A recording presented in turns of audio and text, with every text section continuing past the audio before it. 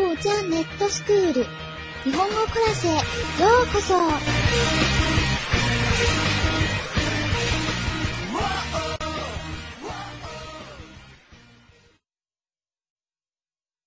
皆さん、こんにちは。ようこそ、沪江ネットスクールへ。大家好，欢迎来到沪江网校。我是大家的香香老师卡里先生。上节课我们学习了第六行哈行假名哈、hi、hu、he、ho 的读法和写法。下面跟着老师来复习一下吧。哈、hi、hu、he、ho。我们来念几遍哈行的绕口令吧。哈嘿嘿，哈吼呼，哈嘿嘿呼嘿吼哈吼，哈嘿呼嘿吼。下面来一遍快的，哈嘿嘿，哈吼呼，哈嘿嘿呼嘿吼哈吼，哈嘿呼嘿吼。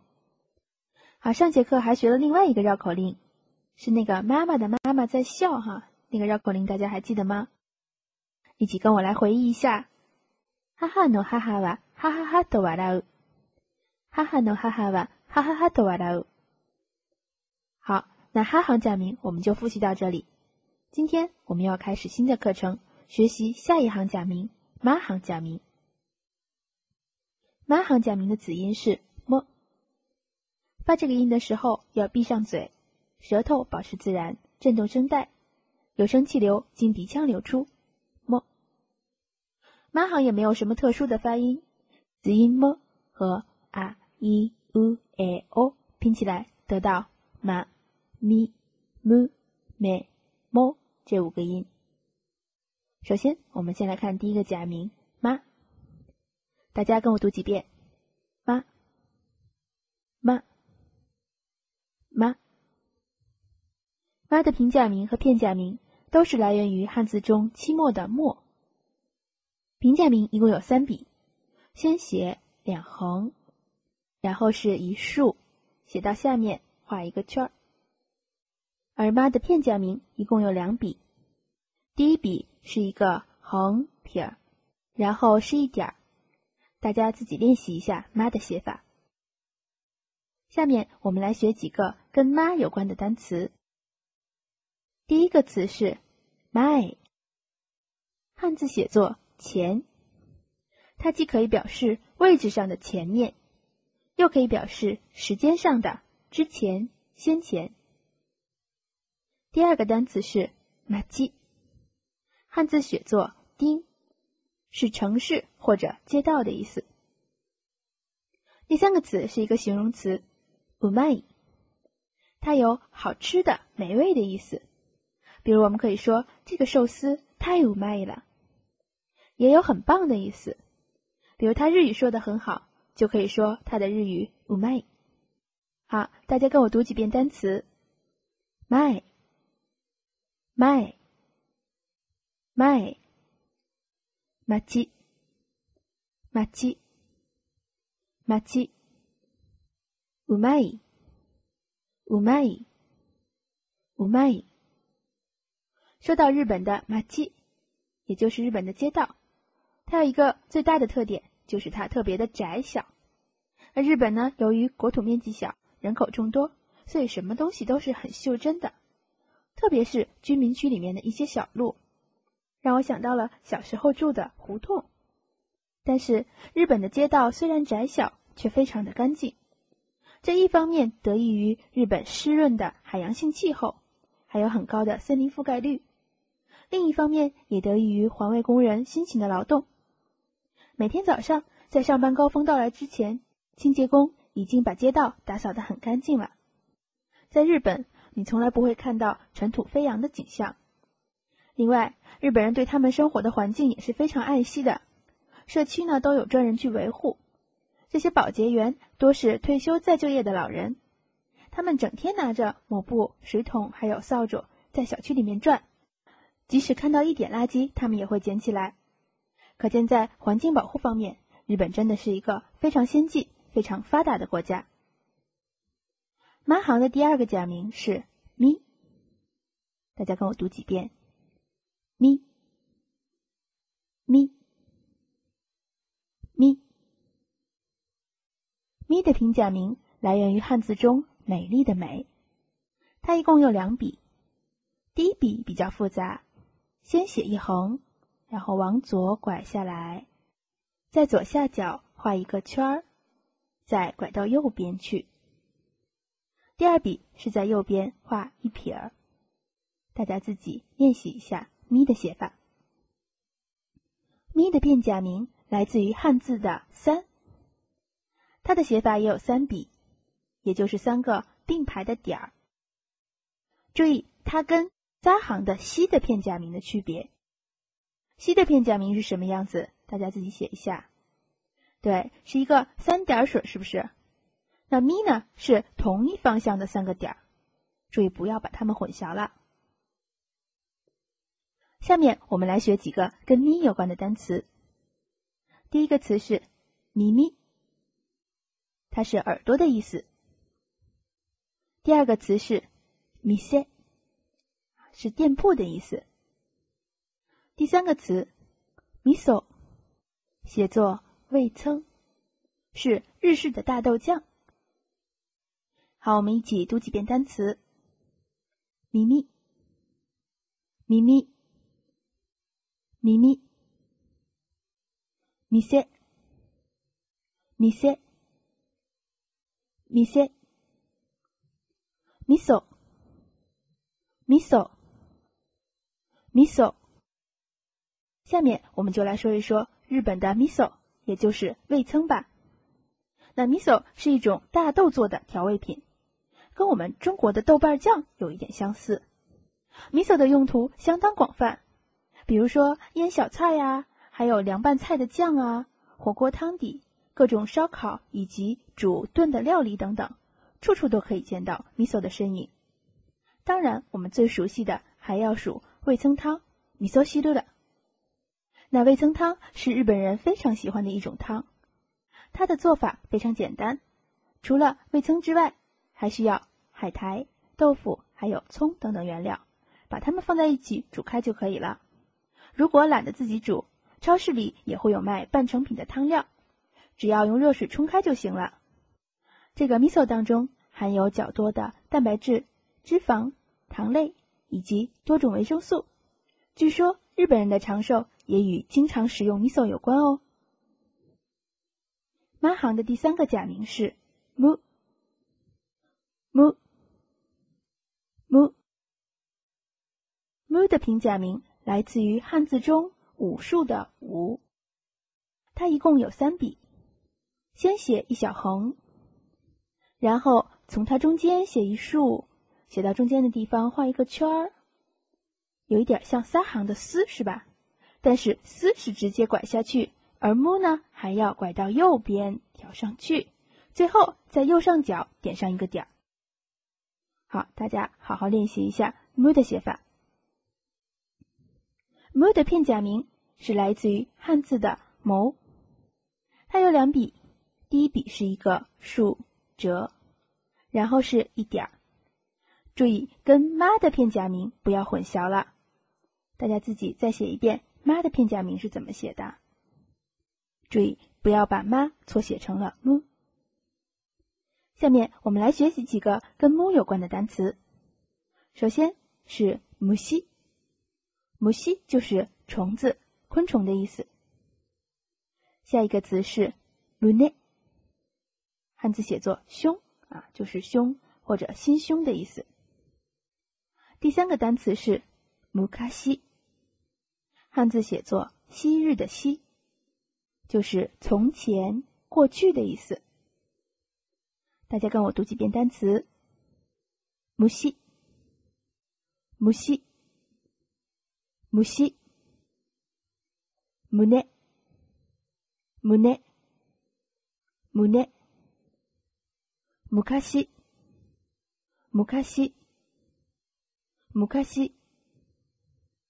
说到木卡西，我们来讲一讲日本的木卡西班纳西，也就是那些古老的民间故事吧。下面这三幅图分别说的是哪个故事？大家能猜出来吗？第一个很简单啊，是桃太郎的故事。桃太郎日语读作“某某太郎”。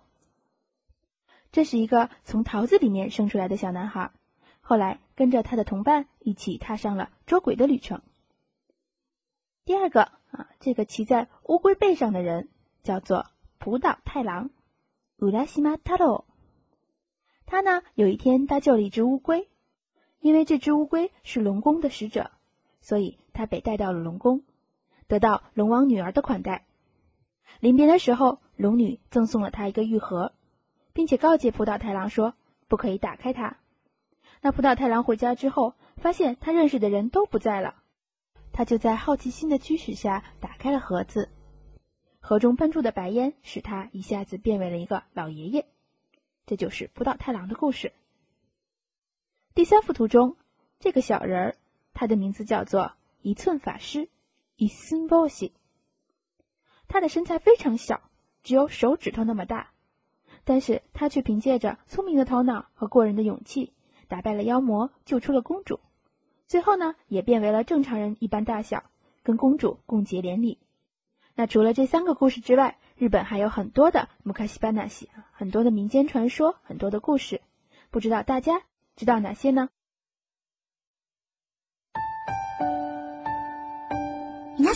練習の時間ですよ。ちょっと練習しようね。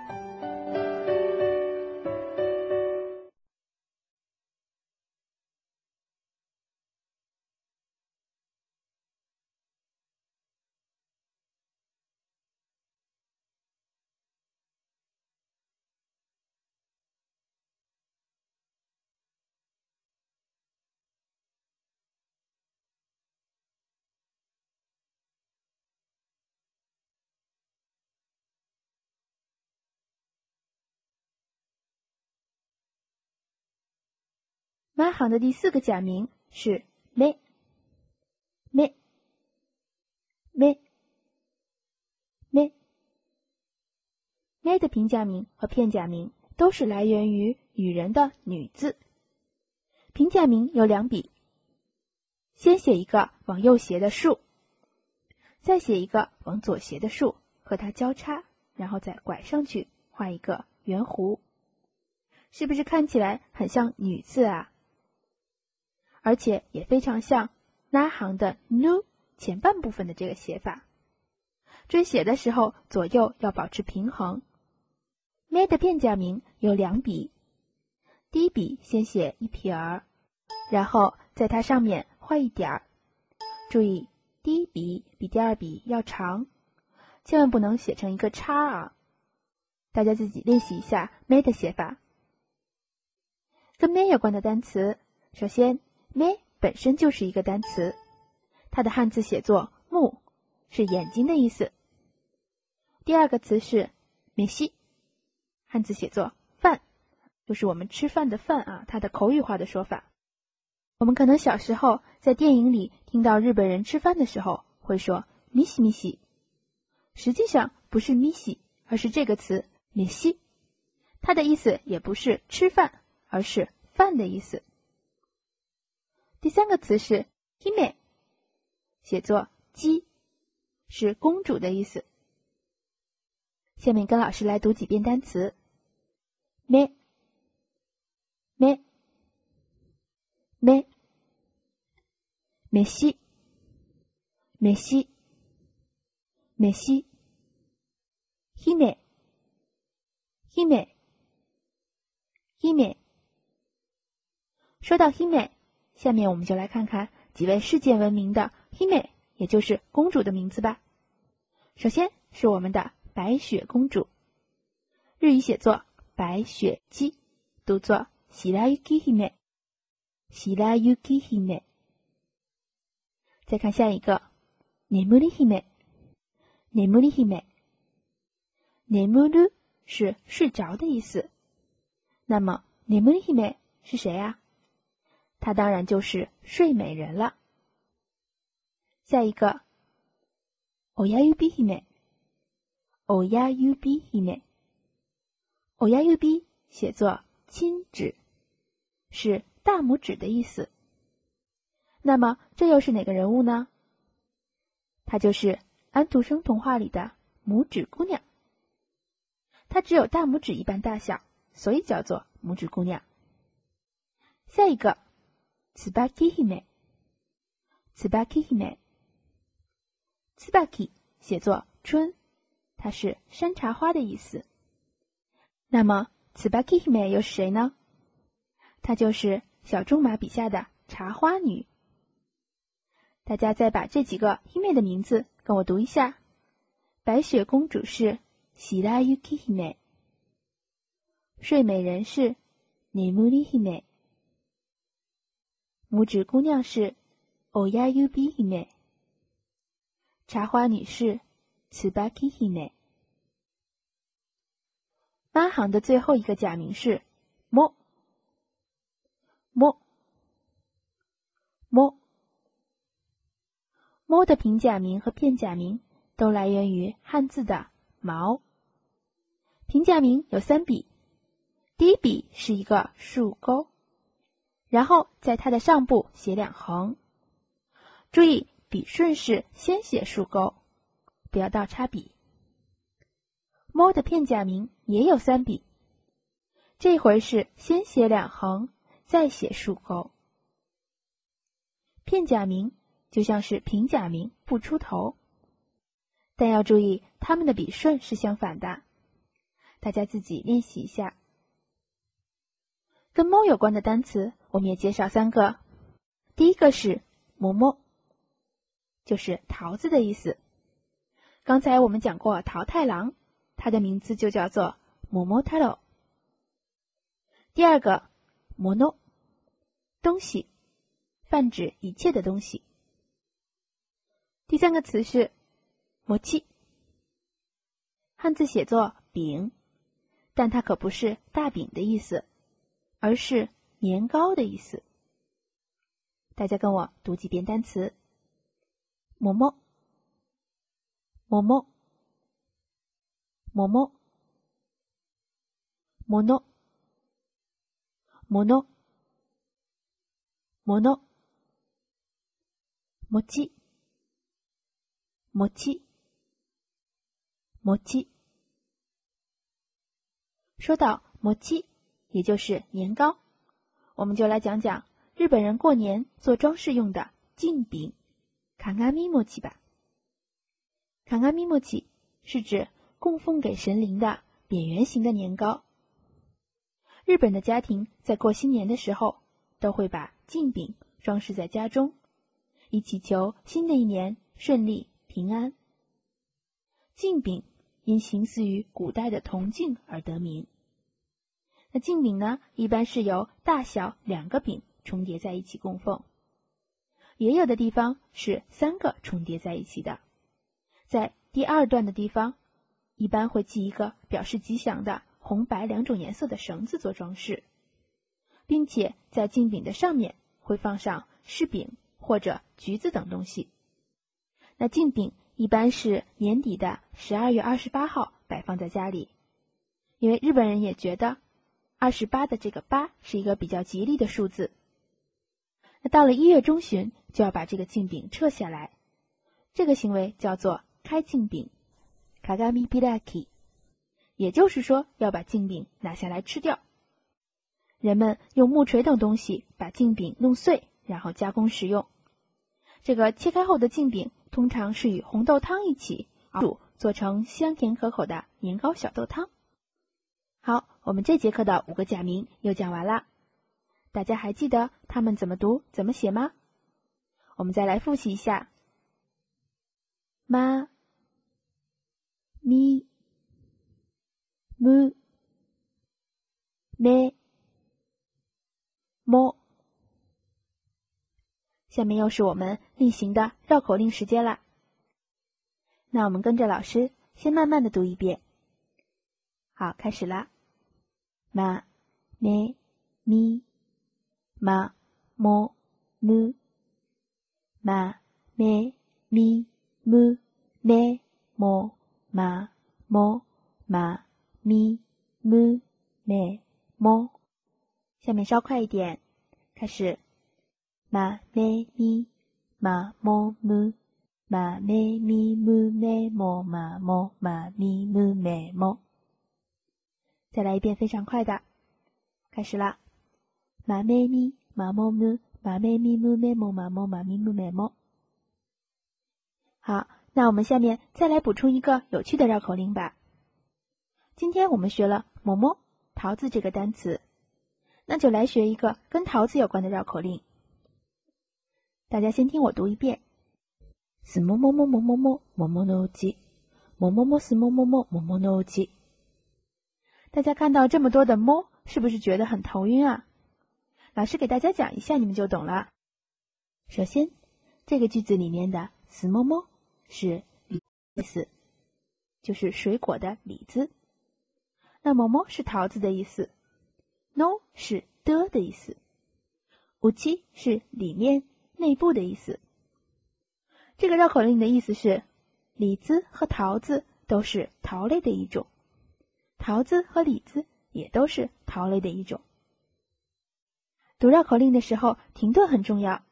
那老师教大家，这个绕口令可以在第六个“么”啊，也就是第七个假名这个地方稍微停一下。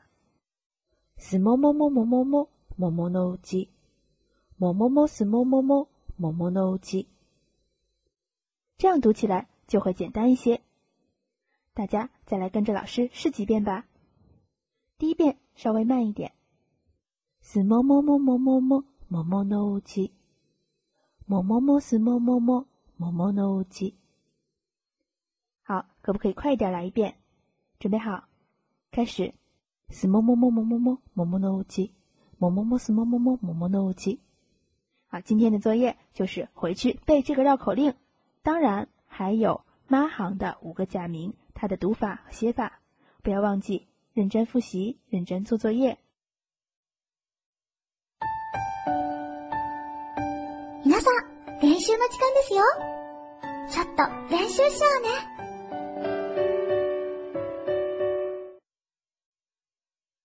下节课的任务会重一些，因为我们要讲两行的假名，也就是押行和拉行。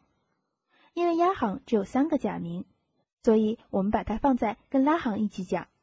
那下节课的任务会比较多了。讲完了下节课之后，下下节课还剩最后两个假名。然后我们就要开始讲播音了，也就是说假名的部分马上就要结束了。五十音图还背不下来的同学，你可一定要抓紧时间了。好，我们今天。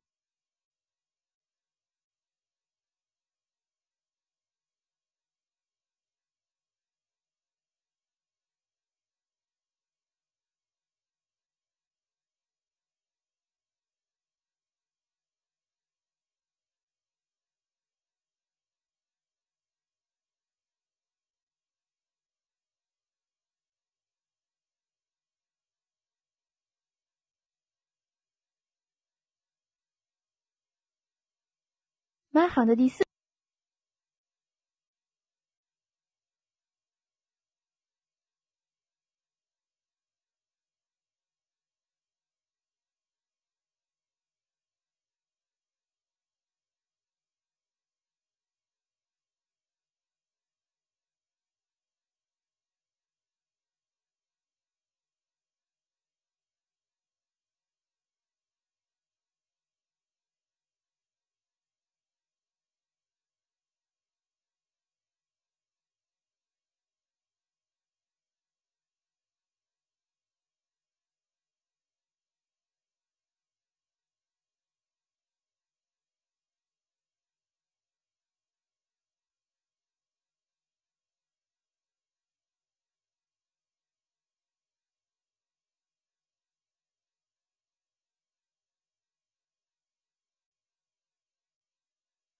下节课的任务会重一些，因为我们要讲两行的假名，也就是押行和拉行。